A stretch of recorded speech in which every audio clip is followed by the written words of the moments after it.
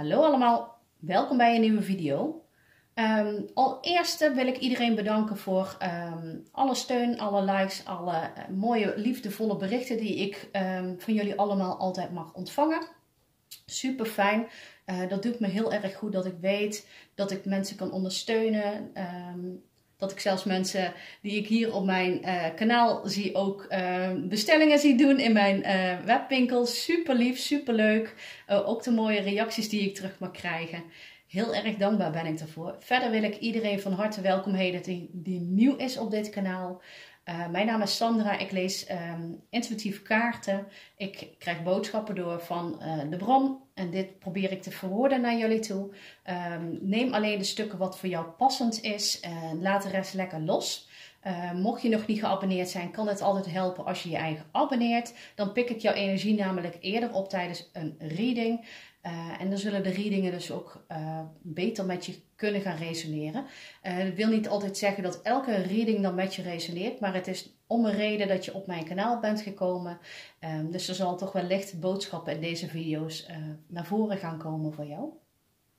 Maar goed, vandaag wil ik me eigen richten op um, de waarheid willen zien. Het is een ja, dan komen toch weer poortdagen aan. Ik ben ook heel benieuwd hoe dit verder voort gaat zetten. Um, dus we gaan eens even kijken wat er in het collectief voelbaar is op dit moment. Nou, we gaan eens even kijken.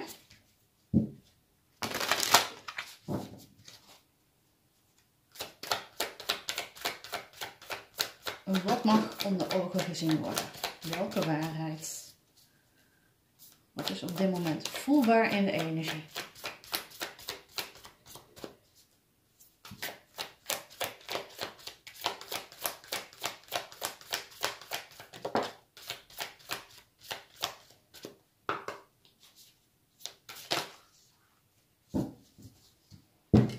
Oké.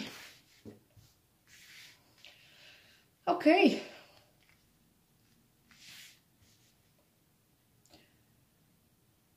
Als we dan gaan kijken naar de um, sluiers die op dit moment uh, tijdens spoordagen uh, ook wel minder zijn tussen de kosmos en het, het aardse gedeelte. Uh, kijken naar de nieuwe ontwikkelingen, doorstromingen, leegmaken in je hoofd, orde creëren in je leven door middel van jezelf te helen of door jouw um, woonomgeving op te ruimen. Als ik dan ga kijken, zit je echt wel op je plek waar je nu uh, terecht bent gekomen voor sommigen. Want sommigen die zitten in, die hebben een, een verhuizing achter de rug. Anderen die um, zitten op een plek waar ze nu zitten. Maar is het wel belangrijk om ruimte te gaan maken. Ruimte te gaan maken in de zin van laat oude spullen los. Uh, ga een keer die zolder op. Ga een keer kijken in je kledingkast. Wat is gewoon niet meer nodig? Um, ga ook inzien wat er voor jou nog belangrijk is. De, de hele pandemie heeft ervoor gezorgd dat er bij heel veel mensen de ogen zijn geopend. Uh, er zijn heel veel mensen die um, ja, toch wel een, een luxe bestaan leefden. Um, dure auto op de stoep, bepaalde wooneisen. Uh, vaak op vakantie, uh, dit doen, dat doen, uit eten, noem maar op. Deze mensen zijn niet iedereen hoor, maar de, de, mensen die dat hebben, die zullen waarschijnlijk ook niet naar mijn kanaal kijken. Uh, maar de mensen die dat er anders tegenaan zijn gaan kijken, die zijn in gaan zien dat ze met kleinere dingen ook dankbaar kunnen zijn. En er zal voor sommigen een verschuiving plaats gaan vinden. En die verschuiving heeft te maken met ontspullen ontspullen in de zin van, uh, ja, wat is voor mij nog nodig? Wat is mijn waarheid? Heb ik al die spullen nodig voor mezelf? Of is dat iets wat ik de buitenwereld in wil gaan projecteren? Uh, dus er is een, een, een, bepaalde stroming nu gaande. Nieuw begin, nieuw start creëren. Ook gekeken nog met uh, de, de uh, nieuwe maanenergie van vorige week. Er zit echt wel heel veel in het vat wat nu door aan het pakken is, waar we nu ne, ja, vanuit aan het gaan zijn. Uh, een nieuwe richting, naar een verlicht leven. En als we dan ook kijken dat hier de verlichting naar buiten gaat stralen. En hier de verlichting op, ik weet niet of je het op de camera kan zien, op de bezem staat. De deuren staan weer open. Je mag weer uh, je dingen gaan doen. Je hebt niet al die andere dingen nodig. Uh, zelf als ik dan ga kijken naar mijn eigen situatie, uh, toen de, ja, de restaurants dicht waren, of dat je zo'n QR-code nodig hebt. Ik hoef niet uit eten te gaan om lekker te kunnen eten. Dat kan ook gewoon hier thuis of bij vrienden of zelf koken of desnoods iets afhalen. Ehm, ik heb geen grote tuin nodig, want als ik hier de poort uitloop, loop ik zo de polder in. Dat is mijn achtertuin. Ik heb de ruimte. Uh, een stukje verder zit het bos. Uh, je hebt alle vrijheid eigenlijk al heel dichtbij, maar heel veel mensen zien die vrijheid gewoon niet meer in, omdat ze te veel focus hebben gelegd op het materiële gedeelte. En heel veel mensen die komen hier nu van terug. Die genieten er wel van om lekker thuis te zijn, lekker knus op de bank met het gezinnetje. Uh, terwijl ze voor de pandemie uh, elke weekend vol hadden gepland om dan daar een feestje, dan daarheen. Al die verplichtingen en moedjes. En ja, maar wat zullen ze wel niet denken? Als wij niet zouden komen. Ja, zo denken heel veel mensen gelukkig niet meer. Omdat het gewoon door de pandemie uh, allemaal ja, verminderd is. Er zijn zoveel mensen gelukkig wakker geworden en inzichten gekregen in de situatie en hoe het ja, een beetje in elkaar aan het steken is. En er zijn ook mensen die deze woorden verafschuwen die ik nu zeg. En dat mag, dat is iedereen zijn eigen mening en gevoel erbij. Ik ben in ieder geval blij dat er heel veel mensen wakker aan het worden zijn, inzicht hebben gekregen en daardoor dus dichter naar hunzelf aan het groeien zijn. En dus ook genieten van het moment als ze lekker thuis zijn en het thuis huiselijk maken.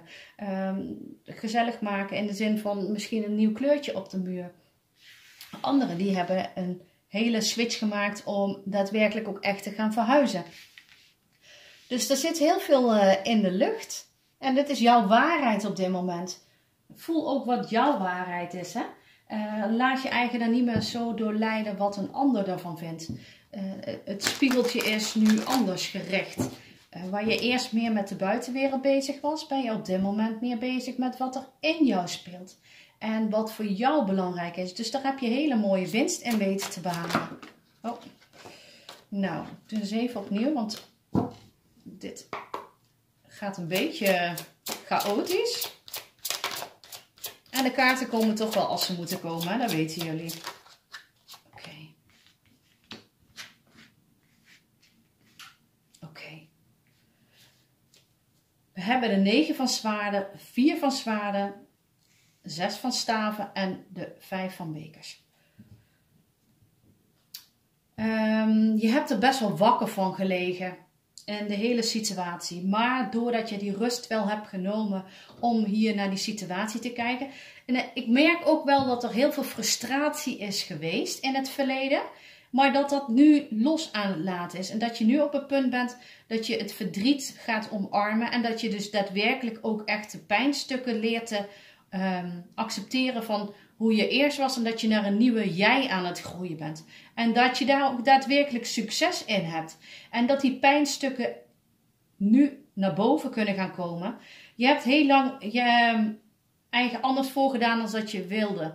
Uh, omdat je zo bent gevormd door de maatschappij, door je familie, door vrienden, door um, misschien wel op status te hebben naar de buitenwereld toe. Kijk eens wat ik allemaal kan kopen, kan betalen en wat ik heb. Um, ik weet ook dat heel veel mensen dat hebben gehad en dat ze gewoon een auto op afbetaling hadden of een auto van de zaak of wat dan ook. En dat is ook allemaal prima. Hè? Als dat op dat moment jouw stuk was waar jij gelukkig van werd, is dat prima. Maar ik zie wel dat er nu een verschuiving aan het komen is in jouw bewustwording. Dat je uit je hoofd probeert te gaan en dat je daardoor ook inziet dat bepaalde stukken je hebt gedaan om andere verdrietspatronen te camoufleren. En dat is ook de waarheid onder ogen gaan zien. Dat je doordat als jij um, in gaat zien dat je dus een bepaalde jas aan hebt getrokken om je anders voor te doen, Uh, maar onder die jas zit al die pijn en verdriet van vroeger of van een situatie of wat voor jou dan ook passend is. Um, zit daar nog steeds onder. En als jij die jas af gaat gooien van wie jij je eigen als voordeed, um, waar je dus op een gegeven moment dacht van ja, maar als ik dit nou ga doen, wat dan? En hoe gaan mensen dan weer denken? Dan zit je weer in je hoofd. Doordat je de rust hebt gekregen door de hele pandemie, heb jij inzichten gekregen, heb jij stukken kunnen omarmen en ben jij met jezelf aan de slag gegaan. Dat is dat transformatieproces waar heel veel van jullie in hebben gezeten. Uh, doordat je daar doorheen aan het gaan bent, heb jij um, gemerkt dat je toch eigenlijk meer naar jouw kern aan het groeien was. En dat je kon genieten, ook van de kleine dingen, ook van gewoon thuis zijn, ook van thuis lekker uh, uh, eten maken en gezellig maken met, met, met wie je dan ook in je omgeving was. Uh, maar toch komen dan toch weer uiteindelijk die pijnstukken die je hier onder die jas hebt gestopt, komen dan weer naar boven.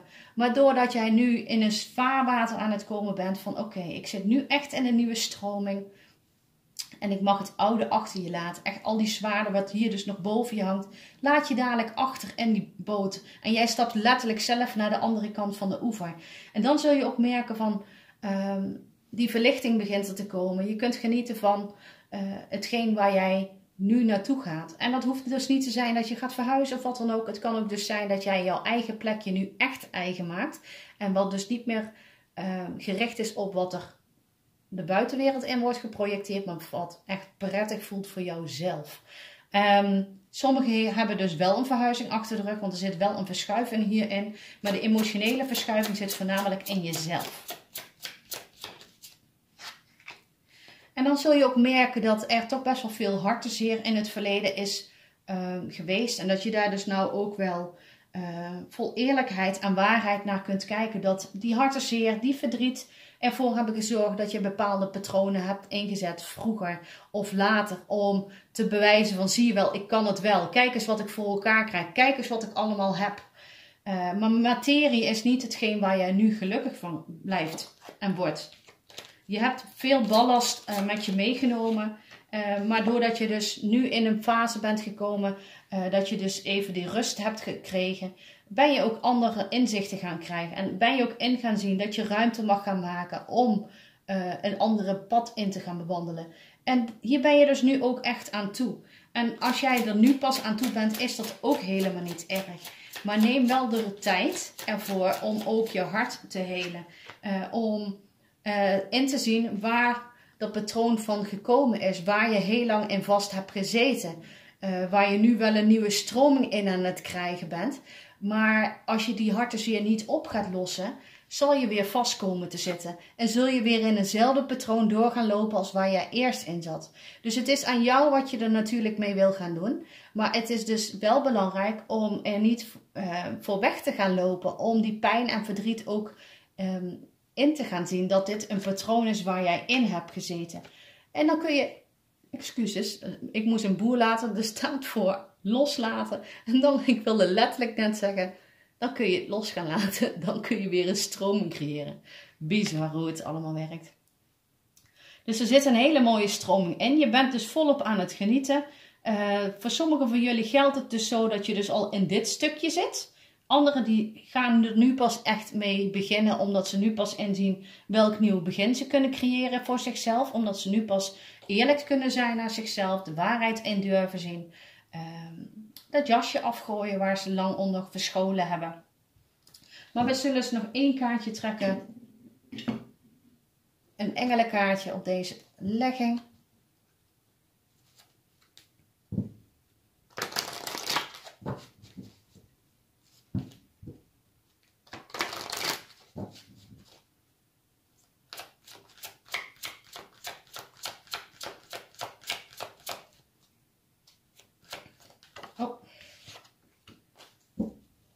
Leiding, engelen van communicatie.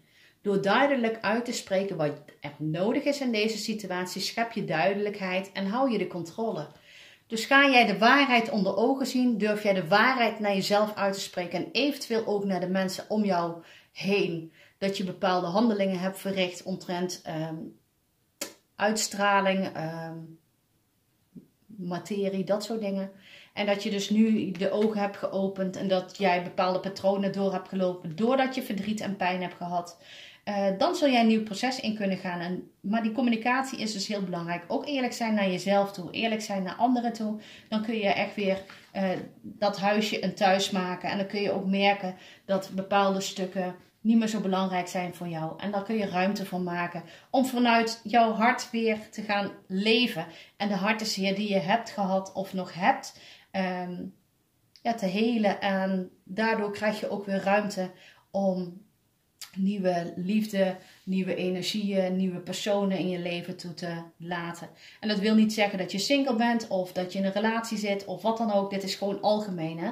Liefde staat niet per se gerelateerd aan een relatie. En liefde is gewoon een verbinding met iemand waar je, ja, die je fijn om je heen vindt hebben.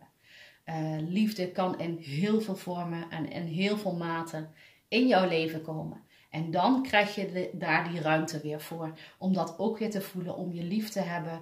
Uh, liefde te geven aan anderen. In welke vorm dan ook.